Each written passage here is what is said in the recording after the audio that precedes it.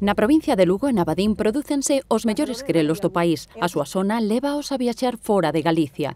Estes grelos pois van para Barcelona. Casi todas as semanas. E outros, algún a Madrid, outros a Asturias.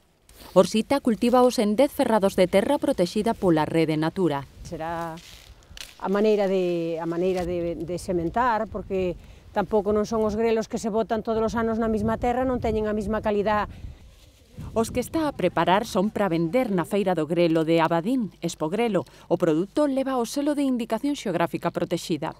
Os grelos o día da feira levarán unha etiqueta co número de polígono e parcela eh, e o lugar, os meus datos, o lugar de onde son.